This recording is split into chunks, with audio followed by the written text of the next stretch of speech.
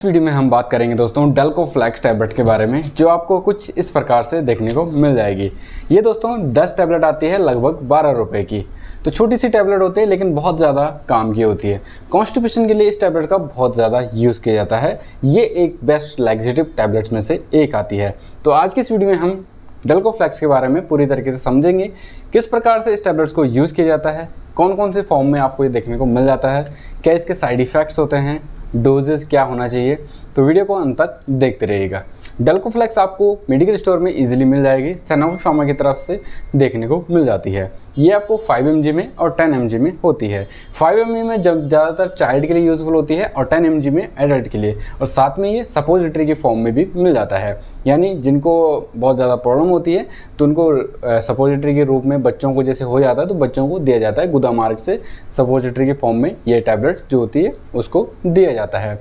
Sanofi pharma की तरफ़ से आती है और एथिकल टैबलेट आती है, जो काफ़ी बेहतरीन है और काफ़ी सेफ़ टैबलेट्स भी देखने को मिल जाती है। इसमें जो इंग्रीडियंट्स होता है, वो सिंगल इंग्रीडियंट होता है, जिसमें होता है विसो कोडाइल फाइव एम में टेन एम में अवेलेबल आपको हो जाएगा। लैक्सेटिव टैबलेट्स है, जो आपके मल त्याग करने की जो इच्छा होती है अंदर के आंतों को स्पीड को बढ़ाने में मदद करता है। जिन लोगों को पेट की बहुत ज़्यादा दिक्कत रहती है जिन्हें कब्ज की प्रॉब्लम रहती है, पेट साफ़ उनका सही से नहीं होता है, पेट साफ़ करते समय सुबह को बार बार जाना पड़ता है, या फिर जैसे थोड़ा गुदा मार्ग से थोड़ा बहुत आता है, कब पेट फूला रहता है, खट्टे डकार आते रहते हैं, पेट सही से साफ़ नहीं होता है तो उनके लिए डल्को फ्लैक्स टैबलेट एक काफ़ी सेफ़ और अच्छी टैबलेट्स हो सकती है। ज़्यादातर इसका उपयोग हॉस्पिटल्स वगैरह में भी किया जा सकता है, जैसे कि जिन लोगों की सर्जरी करनी होती है आंतों की, या उनको कोई टेस्ट करवाना होता है खाली आँख, पेट का तो उनके आंतों की सफ़ाई के लिए भी डेल्कोफ्लैक्स टैबलेट्स का इजीली यूज़ करवाया जाता है। इसका एक्शन कैसे करता है, ये मोड ऑफ़ एक्शन क्या होता है, ये जब आपके पेट में जाती है तो आंतों की गतिशीलता को बढ़ाने में मदद करता है, यानी पानी की मात्रा को बढ़ा देता है, जिससे पेट को क्लियर होने में या आंतों को क्लियर होने में मदद मिलती है। तो काफ़ी अच्छी टैबलेट है और बहुत बढ़िया है। मेडिकल स्टोर में ईजिली आपको ये मिल जाता है। लेकिन इसके साथ साथ ही आपको कुछ साइड इफ़ेक्ट्स इसके देखने को मिल जाते हैं।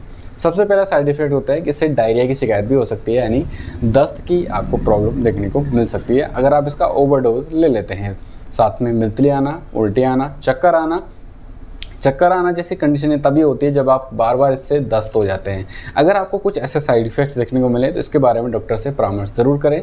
अगर आपको स्किन में कोई रैसेस हो रहे हैं, चखत्ते हो रहे हैं तो भी इसके बारे में डॉक्टर से मिलिएगा और दवाई को बंद कर दीजिएगा। अब इसका प्रॉपरली डोज क्या होता है या लेने का तरीका क्या होना चाहिए इसका? इसको दोस्तों, रात को सोते समय लिया जाता है। एक गोली से तीन गोली तक इसको लिया जाता है फाइव एम की, यानी फाइव एम से पंद्रह एम तक इसको एक बार लिया जा सकता है। लगभग दस से बारह घंटे तक इसका असर बॉडी में रहता है।